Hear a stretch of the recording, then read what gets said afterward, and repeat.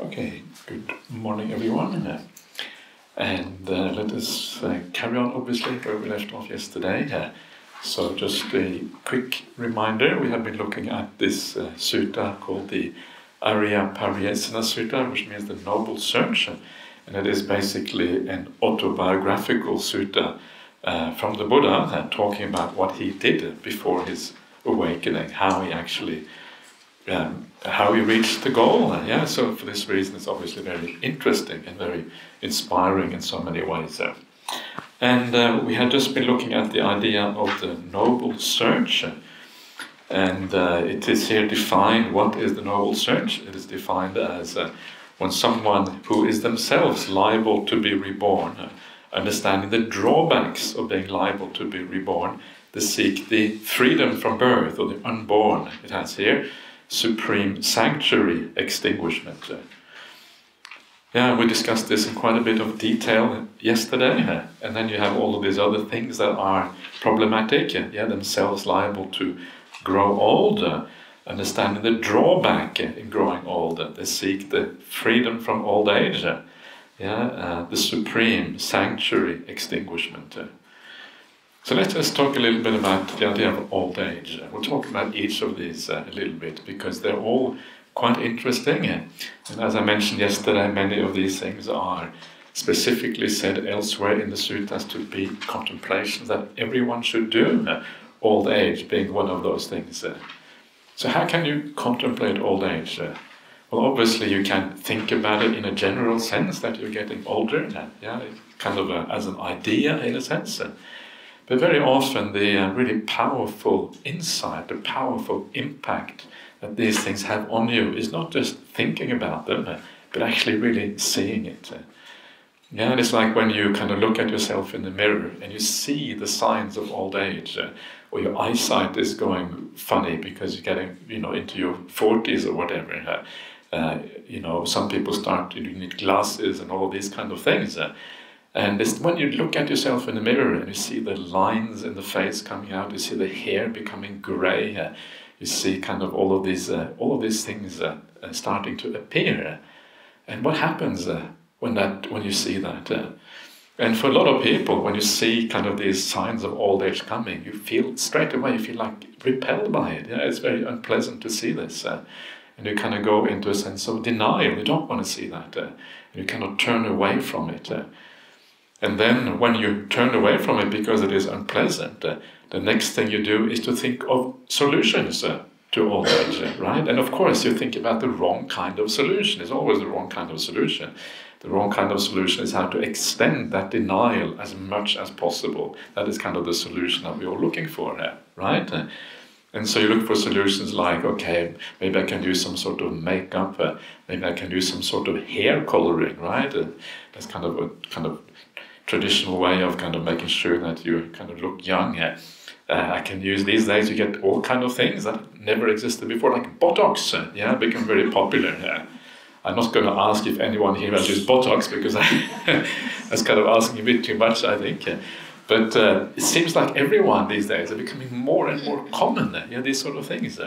It starts out in Hollywood and it spreads out to the rest of the US. Then it goes across the Atlantic, yeah, and it goes spreads around the whole world. Before you know it, everyone is using this kind of stuff. Uh, so the first step is then denial about what is going on. Uh, the next step is somehow trying to cover it up, uh, and uh, that uh, idea of covering things up, of pretending that it isn't real, yeah, it gives you a sense of agency. It gives you a feeling that you are in control, that you can control nature. Yeah, yeah that actually this is something that you can uh, uh, somehow you can deal with this uh, by kind of being smart. You can outwit old age somehow.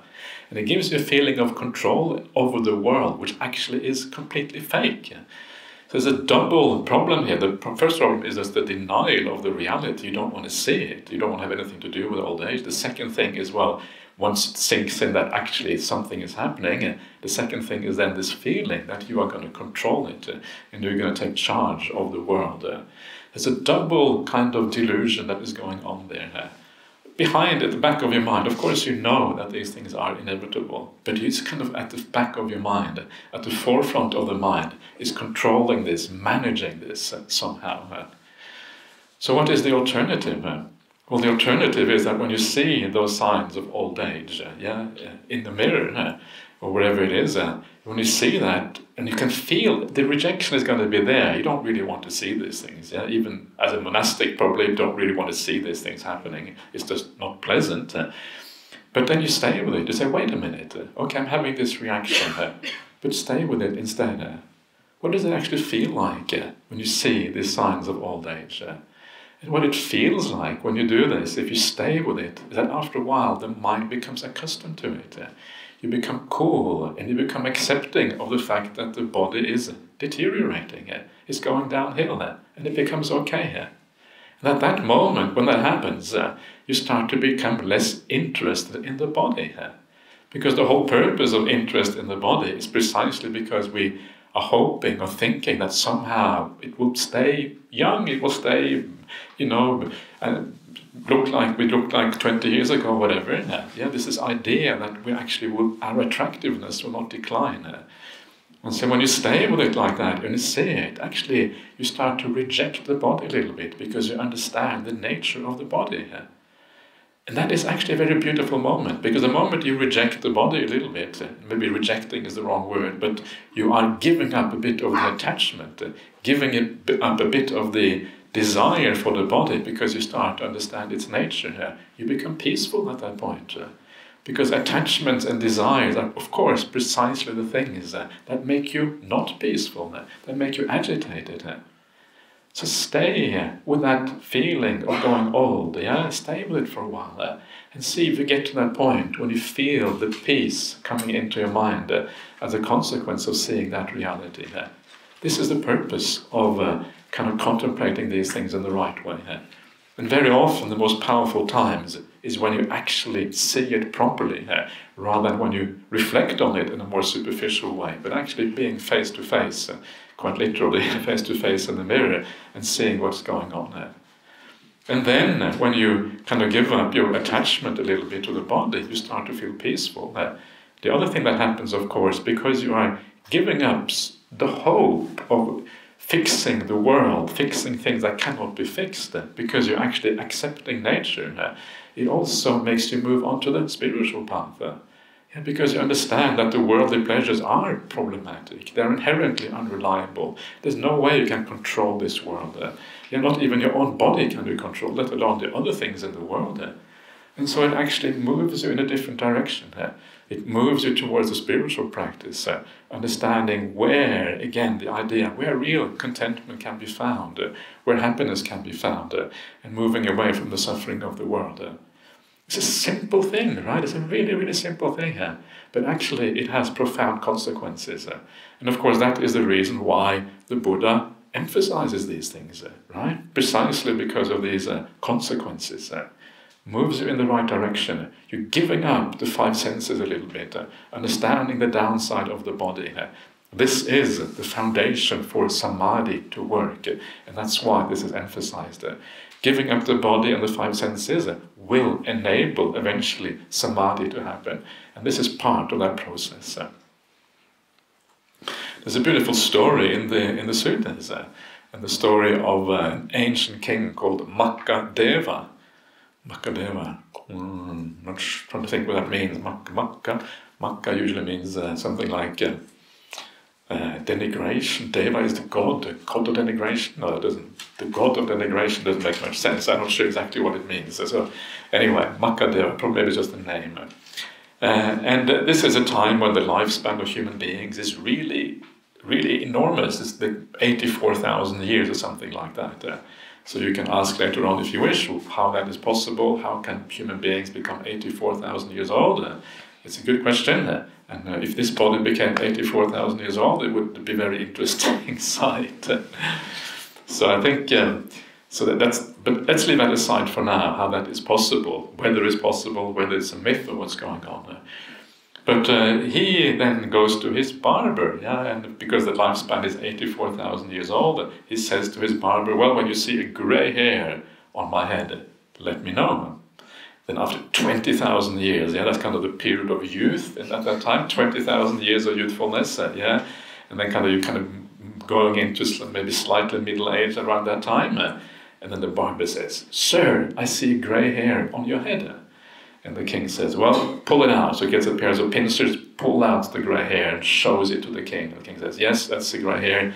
That is a divine messenger. Yeah, the grey hair is the divine messenger. It's, it is the message, message that you are getting old. Yeah, things are happening. Youth is finished. Now deterioration is starting. Things are all downhill from here on. Actually, downhill from the moment you're born. But anyway, this is really starting to go downhill right at this particular point. And uh, this is beautiful, right? This is exactly what we're trying to do when we look at yourself in the mirror, when you see the grayness of the hair, when you see the wrinkles, the, the sagging of uh, everything, uh, and the kind of the weakening of your faculties, all of these things. Uh, this is a divine messenger. It's a reminder of reality, uh, and it shows you what you should be doing, uh, what actually really matters in life. Uh. this is what this king does. And then this king, because he is a very wise king, he then says, Well, this means it's time for me to go forth. And these are kind of very powerful kings uh, who live for 84,000 years, who have vast kingdoms, right? Uh, but they also have a degree of uh, wisdom that is uncommon, according these are mythologies, obviously, uh, but they have that wisdom as well. They give up all of that. Uh, yeah, kind of more than any earthly being would have uh, in ordinary times. Give it all up they go forth uh, and they start meditating and they do the Brahma Viharas and they have the, the spreading metta and compassion to the whole world, they enter the jhana states, these kind of things. Uh, and uh, it's a beautiful idea, the most powerful king imaginable, uh, giving up that kingdom, giving up that life because they see a, one single grey hair on their head. Uh, right? So look out for that one single grey hair. Uh, know the first one when it appears. so um, that's kind of fascinating. So let's so let's take these opportunities, right? When uh, we are given all of these opportunities all the time, uh, and so we should take them uh, and we should try to use them to our, adva- our advantage uh, instead of hiding, instead of pretending that we can manage reality somehow. Reality is there under the surface, whether you try to manage it or not. Uh. So this is like the one way of thinking about the contemplation of old age, uh, right? And I don't know what you think about that, whether you're kind of on board with this or you reject this sort of teachings. Uh, but uh, it is no point in rejecting it uh, because uh, it is the reality. Uh, and unless we deal with the reality, we're not going to go anywhere. Okay, so then the Buddha says uh, it is when someone themselves is liable to fall sick yeah, understanding the drawbacks in falling sick. They seek the freedom from illness, uh, the supreme sanctuary, extinguishment. Uh. Similar kind of thing as with old age. Uh, when you get sick, what do you do? First of all, you don't like it. Ah, sickness, this isn't right. I shouldn't be sick. I'm living healthy, I'm eating well. This is kind of something has gone wrong. I went to the wrong place. I didn't wear a mask when I should have worn a mask. whatever it is. Yeah, that's kind of how we tend to think about things. Uh, and so we get COVID or whatever. And um, but uh, of course, the reality is that uh, again, it is not something that we really can manage. Uh, sickness will always happen to us. Uh, and sometimes we can live the most healthy, the most lifestyle possible, uh, and you still get cancer, you still get heart disease. Uh, certainly, you get all the little illnesses that everyone gets. Uh, this is again part of life to get these things. Nothing has gone wrong if you get sick. In fact, everything has gone right when you get sick. You should expect to get sick every now and again. And then that famous story that Ajahn Brahm always tells. It's a really nice story where when you should go to the doctor and you should say to your doctor, Doctor, doctor, something is right with me. I'm sick again today. Yeah. the doctor sends you off to the psychiatrist to sort you out. but it's true, right? Uh, it's true because actually this is the nature of this body. So when you feel sick, don't be in denial about it. Again, feel that illness. Uh, this is the truth of that illness. Uh, And the next thing we do after kind of saying, oh no, I'm sick is wrong, the next thing we do is kind of go to the doctor, get some pills, find some kind of medicine so we can overcome it, do anything, right, to kind of overcome the problem. And again, it's this feeling of it being in our power to manage sickness. Uh, we delude ourselves that somehow we can manage these things. Uh, and it is possible to uh, you know, to somehow overcome it. It's not a necessity. I'm not saying we shouldn't take medicines. Of course, we should take medicines. Uh, you'd be crazy not to. Uh, but before you go into the medicine cabinet, uh, stay with that feeling for a while. Okay, I'm sick. Actually, nothing has gone wrong. This is the nature of the body. And if this is the nature of the body, the body is far less interesting than I thought it was. If I have to feel these feelings, I don't know have you been sick recently? What it feels like to be sick? It feels terrible.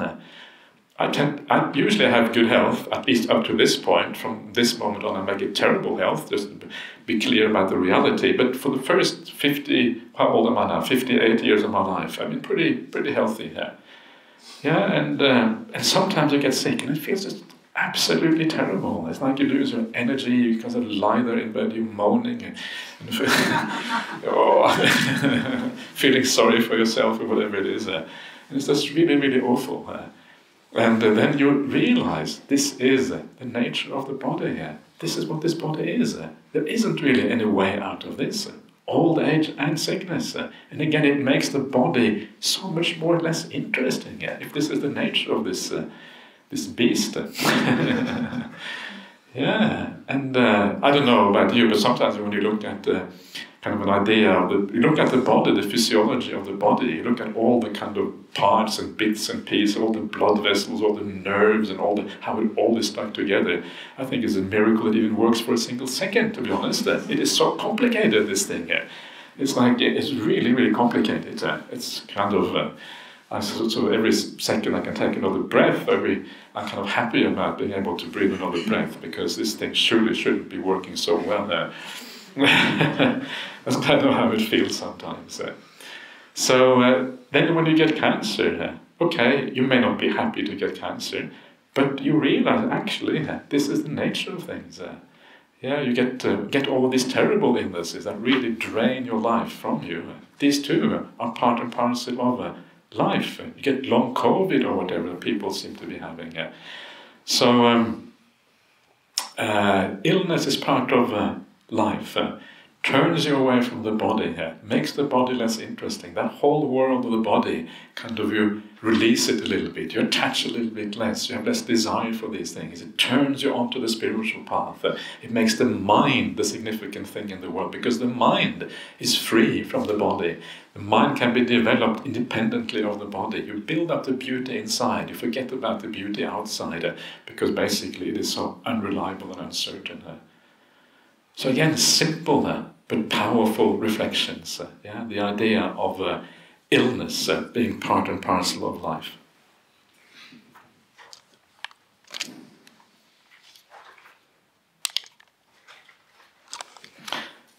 Okay. Uh, then we have uh, death, right? So when someone who is liable to die, understand the drawbacks in being liable to die. yes, there are some drawbacks in dying, that's true. Uh, seeks the freedom from death, the supreme sanctuary, uh, extinguishment. Uh, yeah, so you um, reflect on death uh, and you kind of see the uh, the reality of death. You understand the problem. Yes, the drawbacks are pretty obvious. We can actually talk a little bit about the drawbacks in a second because uh, they are kind of very useful to reflect on. Uh, but uh, just understanding that death is an ever present possibility. and that is a very important point. I did talk a little bit about death before, but actually it is worthwhile really reflecting on this because we tend to push away the idea of death. We don't really want to hear about it. And there was a very interesting study that I'd like to mention. I mentioned this before various times. This was done in South Africa. And this was a study, a psychological study of people. And it uh, it asked the question what happens when people read about death in the newspaper? Right? So you read about death in wherever it might be, and uh, there's always accidents, always problems happening around the world, always someone dying. People die at all kind of ages. And so they looked at the reaction of people when they read about someone else dying in the paper. And the reaction was always, oh yeah, whatever, someone has died, yeah, it's nothing to do with me, it's, you know, someone else, they probably made a mistake, you know, they should have uh, done something different, and then they kind of turn the page and carry on reading something else. Uh, it didn't really have any impact on them. Uh, when you read about something else, you other the other person. Uh, this idea of othering, yeah, making them different, making them somehow separate from you, as if it has no bearing on you at all that this other person dies. Uh. But of course it does, uh, right? This is the whole point. Uh, because the fact that someone else can die means that you actually are just like them. It is not as if you are somehow wiser, somehow you are doing all the right things, whereas they were doing all the stupid things. Uh, that is not really what it is like at all. Uh, the reality is that we are all in this together. Death can happen to anyone at any time. Uh, so when you read about death in the newspaper or wherever, that could be you. That is the right attitude to have to death. Yeah, you just like they walked into the street at the wrong time and a car came and mowed them down uh, and they died. Uh, just like someone, uh, and it's sometimes really weird how people die. Yeah, they walk along a path and there are forest paths here, so watch out. And they stumble on a route and somehow they fall in the wrong way and they die. Yeah, these things happen. So uh, I'm not saying you shouldn't walk those paths. I'm saying when you walk those paths, yeah, death is closer than you think. That's what I'm saying. Yeah. Death is always closer than we think. We are never really ready to die. But the only way to be ready to die is to be ready now. Now is the time to be ready, precisely because of the uncertainty of these things that we don't know. So when you read uh, those newspapers, uh, the right attitude to have uh, is to think of it, that could be me.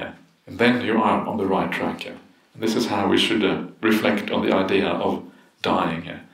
And of course, it has very significant impacts on our life. Yeah, if death is so close to us, is ever present, uh, the world is not no longer really interesting. Yeah, and this is where this beautiful simile in the sutras uh, really comes to the fore. This is the simile of the borrowed goods. Uh, that everything in life is borrowed. Uh, we have things for a while, then we have to give it all up. Uh. and it's a powerful simile here. Because uh, if you think about it, everything in this world pretty much is borrowed. There's very few things that you can take with you when you die. Right? Everything, every all the beautiful things in this world, all the things that you are attached to, everything you own in this world, uh, um, your uh, relation, all the people in this world, the people who are most dear to you, uh, everything has to go. Uh. Your reputation, your sense of identity is often tied up with this world. Your education, your class background. I know England has one of the more class kind of conscious societies around. Uh, so class is important, and every society has has status differences. Yeah, uh, your um, all of these things, your place in the family, all this identity business is tied up with this world. Uh, that has to go when you die. Your body has to go when you die. All of these things. Uh, all of this is borrowed goods. It all has to go. So, how much do you want to invest in borrowed goods? Eh? If you rent a car, you rent an apartment, uh, how much of your own money do you spend on a rented car or a rented apartment? Eh? Not very much, right? Because it's not for your benefit.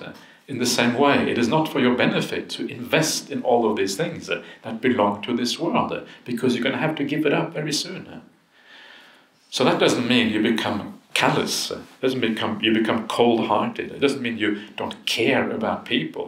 It doesn't mean you stop being kind, uh, because that is the wrong way of thinking about this. Uh, but you care for a different reason. Uh, you don't care because you want to make relationships. You don't care because you want to uh, amass a lot of goods or, or uh, things in this world. You care because it is a spiritual quality. That is why you care, because you're building up your inner qualities. Uh. It is like that beautiful story. I told this story recently at uh, one of the talks I gave in London, and this is such a nice story that really draws out this point very beautifully. here. and this is some is an interaction I have with Ajahn Brahm, and uh, and uh, sometimes when you live with Ajahn, someone like Ajahn Brahm, you get to hear things that other people don't get to hear. So uh, because I heard that, and then I kind of wrote it down, and uh, I made it into a story later on, and now it's been published in one of these books. But this is the story of uh, uh, Bodhinyana Monastery back in 1991. Uh, and there was a very big bushfire, and the bushfire was coming towards Bodhinyana Monastery. And it was the hottest day on record in Western Australia. And Western Australia gets pretty hot. It was 46 point something degrees. It's like when you try to breathe, it's like, oh, oh, oh. can't breathe, right? Because it's like it's painful to draw in the breath.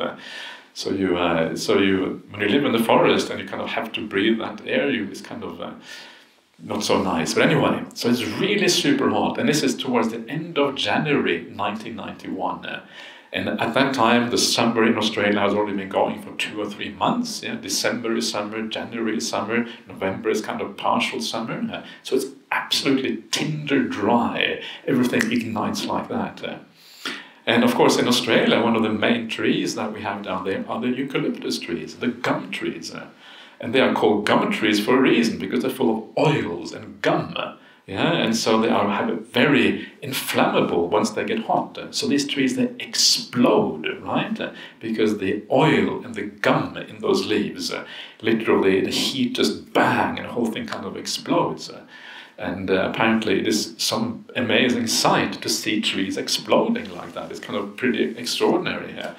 And I think maybe that's why some people go and light the bushfires, right? Because most of these bushfires are lit by people now. They don't happen, some of them they happen natural, but the majority apparently are lit by people. Maybe because they enjoy those exploding trees, I'm not sure. But it's kind of, this is kind of how things are. And so this fire is approaching the monastery. And then the fire brigade comes, and all the monks they have evacuated into the main meditation hall at Bodhinyana Monastery. And then the fire brigade comes, and they say, the monastery is finished. You have to evacuate. This enormous fire is coming. It's going to be the end of the monastery here. And so Ajahn Brahm recognizes, well, we have to evacuate. And at that moment, uh, he knows that that's the end of the monastery here. Yeah, this monastery, Bodhinyana Monastery, has been Ajahn Brahm's life's, it's been his life's work. He started building this monastery when they moved to that property in November 1983. Now it is January 1991, so what is it, seven years or whatever? Yeah, and he has spent almost all his time, almost all his waking hours, well, not quite, he does some meditation, of course, as well, but he has spent so much time building this monastery here. Morning, afternoon, sometimes the floodlights out at night to continue to finish off whatever he's doing here. This is his life's work beautiful main hall, the kitchen area, the kutis in the forest. The, Ajahn Brahm is this incredible perfectionist. Everything is done to perfection. Uh, this was going to be a monastery that would last forever. Uh, and then the fire comes. Uh, last forever, right? The delusion right there. And Brahm recognized the delusion of this, right? You make something last forever, of course. So after that, instead of doing things 100%, he got the 70% rule, yeah, because he understood that is a much better way of doing things. Uh, so he went from being perfectionist to being really pretty mediocre, actually. Yeah. Sorry, sorry, I, I hope you never see this talk. So, and at that point, he knew uh, the monastery was going to burn up. Uh, yeah, and so I asked Ajahn, well, how did you, what did that do? What, how did you feel about that? Uh, and he told me, well, at that moment when I knew it was going to burn down, even though it was my life's work, even though I had spent thousands of hours building up that monastery, at that moment I let go completely. I was completely at ease with the whole thing burning down. And I knew at that moment, uh, if the whole monastery burns down, uh, tomorrow morning I will come back and I will start from scratch. And I thought, wow. I thought, how is that humanly possible? Most people would cry. Most people would lie on the ground and roll back and forth. That is how they grieve in the suttas. It's really funny. They grieve by lying on the ground and rolling back and forth, holding their tummies maybe. And uh, so uh, that's kind of extraordinary, right? Letting go like that. And this is this to me is like the real superpowers in life. This is the sign of incredibly profound wisdom, the ability to let go like that. Uh. And so the next question, of course, for me, from Ajahn Brahm to Ajahn Brahm was, well, how are you able to let go like that? How is that possible? Uh? And then this is where the answer comes. Uh, and this is kind of precisely what we're dealing with now, it ties in with this idea of borrowed goods. And he said to me that the reason I built Bodhinyana Monastery was not to create something. I didn't do this to, for the result of creating a monastery here. Well, that was a secondary thing. That was kind of a, you know, a um, kind of consequence of what I was actually doing. What I really was doing was doing something good. I was doing an act of generosity. I was doing an act of kindness. I was making something, a place where other people can practice the Dhamma and become ordained. That is why I was doing this. I was doing this as a spiritual practice. And that spiritual practice, whether the monastery burns down or not, can I can continue the next day by coming back and rebuilding it. It's the same kind of spiritual practice. So, in other words, he does it not for the result, but for the uh, what he puts into it. It's not what he gets out of it, but how he does it that matters. And this is the kind of attitude that we all need in the world, right? Because the results in life are so uncertain.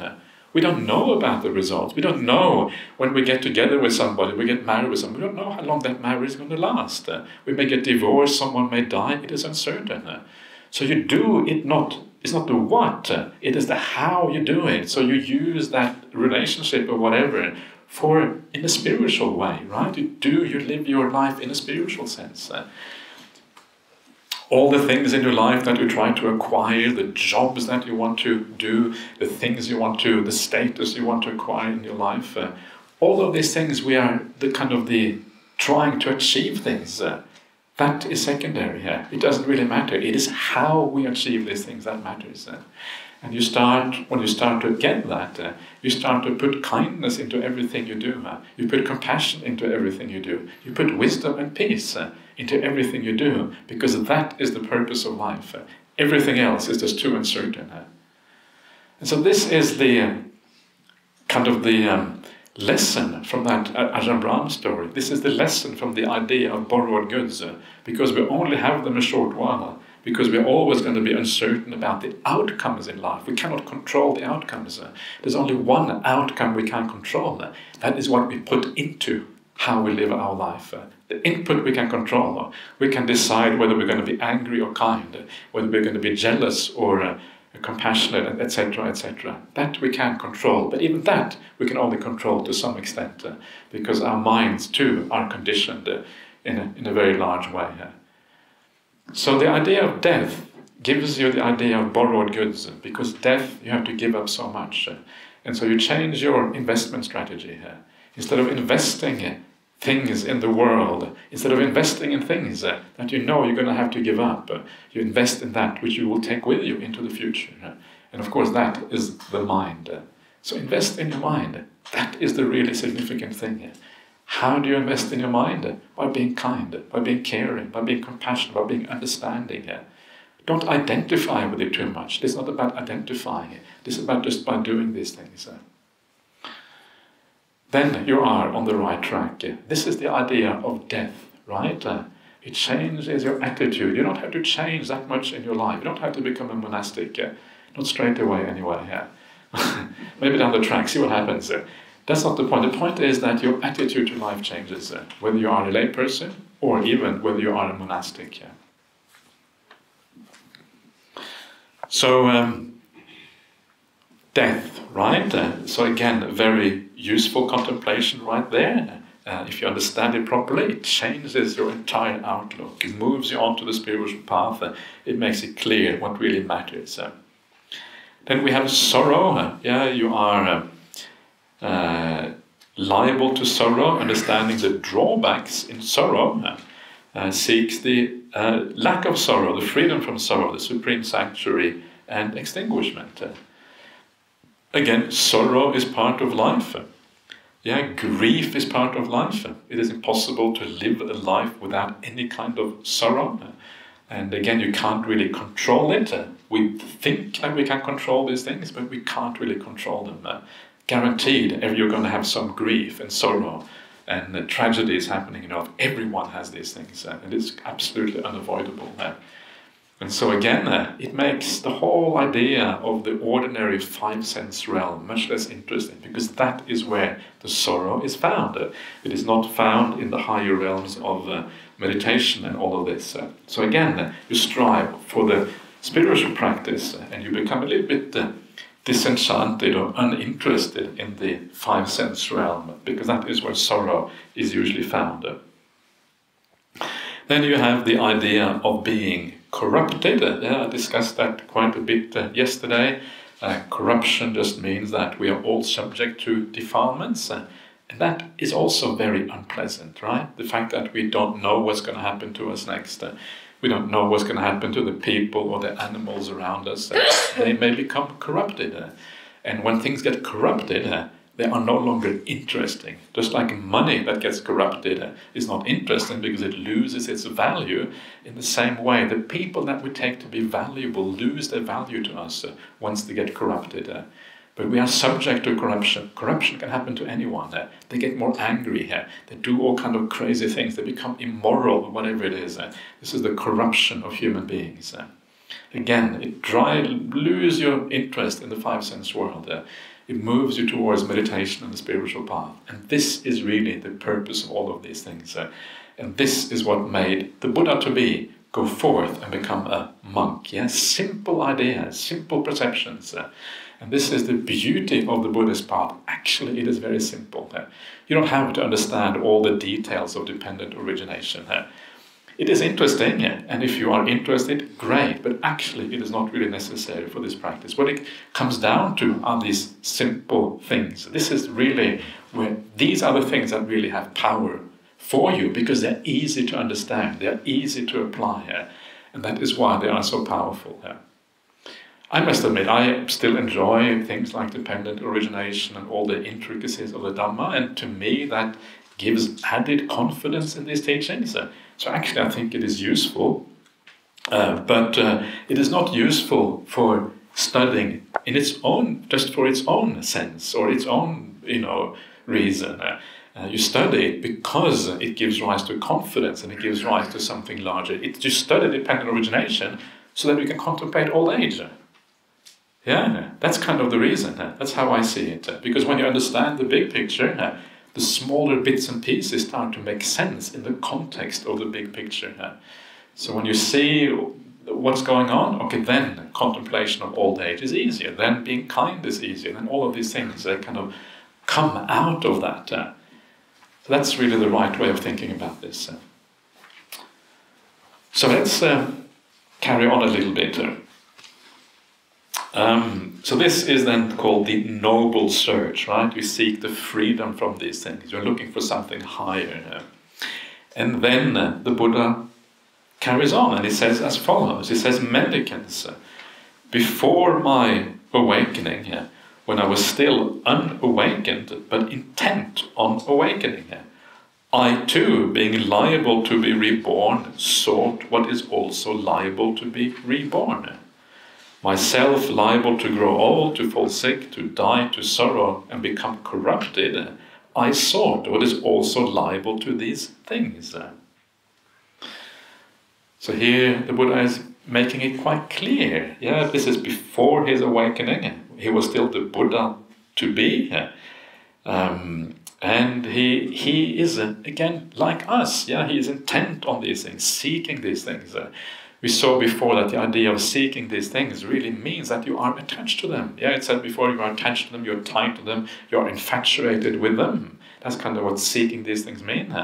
So this is again this sense that the Buddha to be is very similar to us. Uh, yeah, same kind of attachments, uh, same kind of problems, uh, but also very powerful spiritual faculties know, it kind of it makes it easier to relate to the Buddha when you see that he was dealing with exactly the same things that we are dealing with there. And um, what is also a little bit interesting, I just mentioned this in passing. Yeah, uh, he talks about when I was still unawakened but intent on awakening. Yeah, and that is this word, intent on awakening. Yeah, because that word is actually bodhisattva. Yeah, or bodhisattva is actually the word. And uh, traditionally, that is left untranslated because people reckon that bodhisattva is self explanatory, uh, but it is, not, it is anything but self explanatory, right? It's actually very hard to really understand what that word means, it turns out.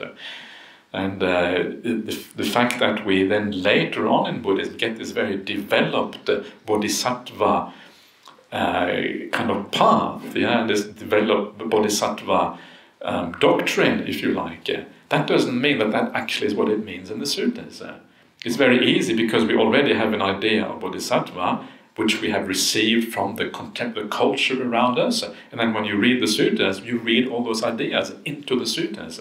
It's natural for us to do that, right? Because we think that these words have the same meaning.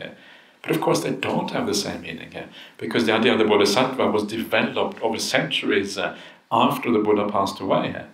They were developed, why? Well, because people ask questions such as, well, who actually was the Buddha? Right? What, where did he come from? Uh, what is his full story? And these things became very important when the Buddha died because they were missing the Buddha. Yeah, you can imagine having the Buddha around, asking him for all sorts of things. Uh, everything is kind of decided by the Buddha, and then he's gone. He's this towering spiritual figure uh, who is very inspiring, has full of loving kindness, and looks after you and gives answer to all the questions. Uh, and then he's gone. Uh. that is traumatic, uh, yeah, big time traumatic. Uh. And uh, for that reason, uh, people then start asking questions. Well, actually, who was it? You need to write down the the the, the um, the, the feeling of missing someone makes you kind of want to rebuild their life story so as to understand who they were, to make sense out of it. And so this is where this, I think, and other people are saying the same thing, of course, uh, where this uh, search for the full story of the Buddha comes about. Uh, and then the whole Bodhisattva doctrine, an ideal, emerges from that kind of search. And, uh, but of course, that does not mean that when this word in the suttas is used in the suttas, it means that at all. In the suttas, on the contrary, it seems to mean just the time after the Buddha goes forth from the home life until his awakening. That is the time when he is a bodhisattva. There is a couple of exceptions of that in the suttas. Uh, for example, in the Acchariyabbhuta Sutta, Majjhima Nikaya 123, the wonderful and marvelous, it is used a little bit more broadly, but uh, generally speaking, that is how it's used in the suttas. That kind of makes sense, right? Uh, awakening being, bodhisattva, from the moment you go forth, you decide you want to awaken uh, until you uh, die, uh, until you become awakened. And so this is this kind of so when you start to read it in the sutras, uh, you actually see it is used differently. Uh. So what does actually this word mean, the word bodhisattva? Uh, well, usually it is kind of translated or understood as awakening being. Yeah? Sattva is being, bodhi is awakening. Yeah? But awakening being is a kind of strange compound. Being for awakening, being, exactly how does that work? it's kind of a little bit weird. Yeah, and it does not. It's not necessarily all that uh, compelling. The, that kind of translation. Uh. And so one of the kind of famous uh, scholars of uh, Sanskrit, uh, a fellow called Richard Gombrich, who was a professor of Sanskrit at Oxford University for over 30 years, uh, he said that actually probably this word it means something else. it probably means bodhisakta rather than bodhisattva. And bodhisakta means intent on awakening. here. And kind of all the pieces fall into place once you see that. Uh, that is probably the original meaning of this word. Uh, it relates to a different Sanskrit word. Uh, and of course, the person who is intent on awakening uh, is precisely that person who goes forth from the home life uh, and then he is intent until he achieves the awakening. That period is the bodhisattva period, and that is how it is generally used in the sutras. Someone who is trying, someone who is intending to overcome the defilements, to overcome suffering, and to attain this insight into the nature of reality and overcome all of these problems. That's kind of interesting here, and it shows us how easy it is when you read the sutras to read later ideas into the early sutras. In fact, it is almost impossible not to do so. It is, it is impossible uh, because we are all influenced by the society around us. We're influenced by books we have read. Uh, and there's no way you're going to be able to read everything uh, neutrally. There's, nothing can ever be read neutrally. But uh, when you are aware of that, uh, that it is impossible to read things neutrally, it means you become a little bit more uh, circumspect when you read the sutras. Uh, you look for maybe alternative explanations. And this is one example of that.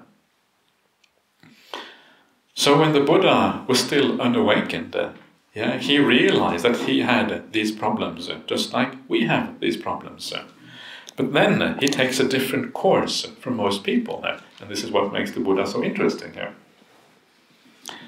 Yeah, being liable to all things. then the next thing is, then it occurred to me Why do I, being liable to be reborn, grow old, fall sick, sorrow, die, and become corrupted, seek things that have the same nature? It's a very good question. If there is a problem, why seek all of these things that actually have this, exactly the same problem, compounding the problem in your own life? Why don't I seek the freedom from birth, the unborn, the unaging, the freedom from old age, the unailing, the freedom from illness, the undying, the freedom from death, the sorrowless, the freedom from sorrow, the uncorrupted, the freedom from corruption, the supreme sanctuary, uh, extinguishment. Yeah, and this is what kind of makes the Buddha special. He sees a problem uh, and then he decides to do something about it. Uh. And this is where the Buddha is different from almost anyone else in the world this kind of audacity, this willingness to do the impossible. there. yeah, nobody does this kind of thing. very few people walk off into the forest and say, "I'm going to find the solution to death." Yeah, no one does that because it just sounds way over the top. What do you mean you're going to walk in the forest and find the solution to death? You, you're crazy. Come hang out with us here and have fun and let's go to the pub together. That's kind of that's kind of the usual way that people deal with life. But the, this is what makes the Buddha so special. And in our society, it is almost unthinkable, right? It's almost impossible that in kind of here in the in the UK or in anywhere in Europe for that matter, or most places of the world, it is almost unthinkable to do this sort of thing because it's so far away from how we think about the world. And this is why I think that uh, the reason why this was possible for the Buddha is because they already had a very kind of powerful religious or spiritual society in India. People who were ascetics, uh, people who went forth into the into the homelessness, who actually did go into the forest and build little huts for themselves. Uh, this this was an accepted part of ancient Indian society. Even today, it is to some extent part of Indian society. So that society was geared towards these things. It was geared towards you get supported if you were an ascetic in this way. People were already practicing samadhi. They had gone a long way on this path.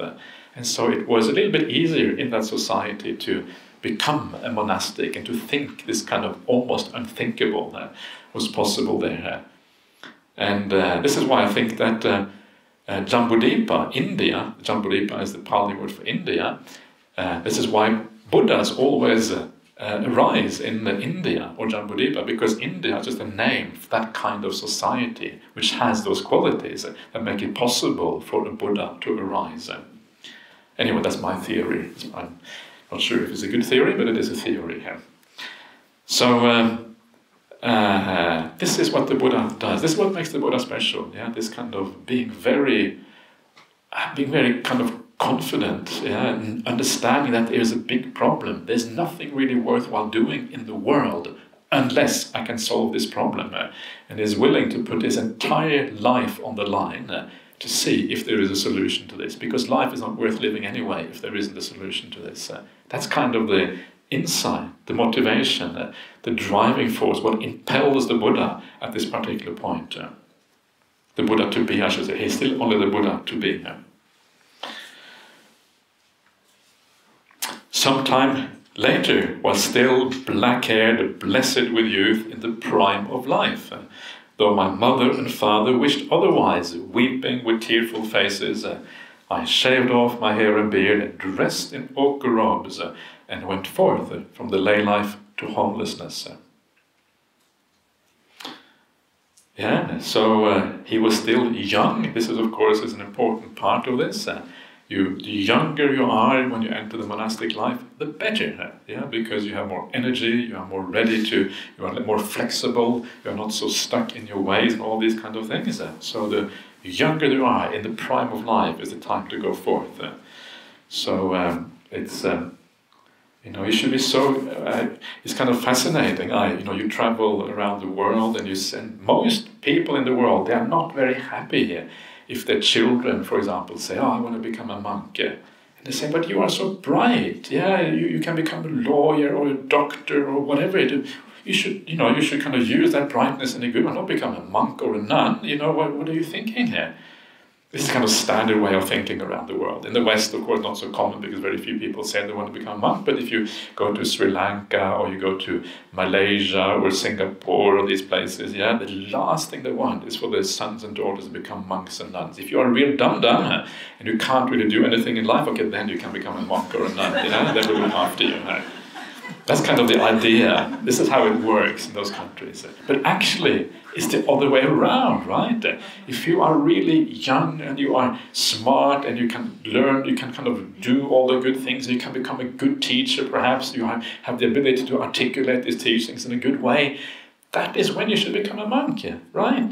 That is the kind of people we need in Buddhism. These are the people who will help us bring the Dhamma forward into the new societies, into the new age, have the ability to think about things in a new way and to deal with the kind of new challenging situations in the world and see those in light of the Dhamma and these kind of things. So uh, I always say to those people, and, and it's actually very nice to see this happening. When you teach people the Dhamma and they start to understand, they start to say, wow, if I have a son and daughter, uh, I'm going to tell them, even if they don't want to, I'm going to tell them, become a monk or nun. That's going too far, right? They should actually want to become a monk or nun. But uh, at least we give them a bit of encouragement, right? Okay, monk and nuns, cool, yeah? So come with me and check out Ajahn, Ajahn Brahm when he comes to kind of Singapore or wherever he goes, UK. Yeah, he's coming to the UK actually in November. So you can kind of meet Ajahn Brahm then. And uh, that is the right way of thinking about this, yeah? So we want people who have good hearts, yeah, who are uh, young, uh, who are intelligent. Intelligent is not so important, yeah, because this is spiritual practice, a bit different from intelligence. Uh, but intelligence can be helpful sometimes. Go forth, yeah, becoming a doctor, who cares? Yeah, it's kind of irrelevant. You can help a few people as a doctor, good. You can help far more people if you become a really good monastic. Yeah. So um, he goes forth. Uh, and then he has this idea that though my mother and father wished otherwise, weeping with tearful faces, yeah? This is an interesting little point here. It's a little bit on the side of what we're talking about, but uh, it is uh, interesting because uh, traditional story of the Buddha is that uh, he left his wife and his son in the middle of the night. Yeah, he, they were kind of sleeping, uh, and he gets on the horse Kanthaka, and he kind of rides out of the city into the sunset. Actually, it's in the middle of the night, so it's not sunset, but anyway, kind of making it a bit more poetic. It, it, all sounds very poetic, right, when you read this. Uh, and he jumps over the walls of the city. It's this magnificent city with millions of people. Actually, Kapilavatthu was like more like a small village. That's the reality of it. Uh, if you go to some of these archaeological sites in India, you'll be surprised how small everything seems, right? Uh, this was a time before really big cities in India. Everything was very low key. And so you start to see that actually, no, he didn't leave in the middle of the night. Uh, it wasn't just irresponsible person who left his wife and child behind. This is often used by people outside of Buddhism, and maybe rightly so. They say, oh, look at your Buddha, yeah, he's bad, yeah, irresponsible, leave his wife and child behind. And of course, for most Buddhists, we forgive that because he was on a bigger mission. Yeah? So we kind of forgive it. But still, it does seem a little bit irresponsible now. This is the reality. Yeah, he had spoken to his parents. Uh, he had told them that he was about to go forth. They didn't want it. They were crying yeah, they were kind of, oh, no, please don't go forth. You can imagine how beloved someone like the Buddha would have been to his parents. Uh, he was obviously an extraordinarily special person in so many ways. Uh, no parents want that kind of person to go forth. Uh, and then he decides that um, he wants to go forth. He speaks to his parents. Yeah, they know what's going on, and obviously he has made uh, what is required for his parent, for his wife and child to be looked after. These were large families. They lived together. So they would have been okay here. So he was, after all, responsible there. And that later legend is all it is, it's just a legend. But unfortunately, that legend is what everyone knows about. They don't know about what's in the suttas. Yeah, and that's kind of the problem. This is the problem with uh, Buddhist education around the world. You get to hear all the later stuff, not the early stuff. You get uh, kind of uh, cultural Buddhism, not the Buddhism of the Buddha. And that is uh, part of the problem here. So little things like that are kind of interesting here. I was told that in Sri Lanka, the Christian missionaries, uh, and uh, there are Christian missionaries, some of the uh, some certain countries are really keen on sending missionaries out. Uh, and uh, they, one of the ways of converting the Buddhists, the other Buddhists in the village. This is precisely with these kind of stories. Uh, the Buddha wasn't responsible. Yeah, he left his wife and child, become a Christian, much better. Yeah. And so they think, oh yeah, maybe you're right. Yeah, maybe I've got this all wrong. You're right. It says in the books the Buddha was irresponsible. Okay, I become a Christian. Uh, and sometimes it, uh, you know, this is are the kind of conversion techniques that are used, uh, and uh, it's uh, very kind of uh, I don't know, unscrupulous and, and dodgy, but still, because in Christianity the idea of conversion is so important, uh, they actually would use these kind of techniques. Uh, in Buddhism, it's also nice to for people to become Buddhist because you know we have this amazing spiritual path, uh, but it's not about conversion for conversion's sake, as it is in Christianity. In Buddhism, it's more like okay, you become a Buddhist because you want to practice this path. Uh, it's not about being a Buddhist as such. So it's only if I can persuade you that this is really worthwhile, that is when you should become a Buddhist. So we have a very different idea about how we spread the teachings compared to, for example, Christianity, where the idea of conversion is so incredibly important. Otherwise, you go to hell, right? You can kind of see it from the point of view of Christians. If you go to hell, if I don't convert you, okay, you know, you, you become quite, it becomes quite important in those, uh, at that if that is true. No? Anyway, the fact that that doesn't make any sense is a completely different matter.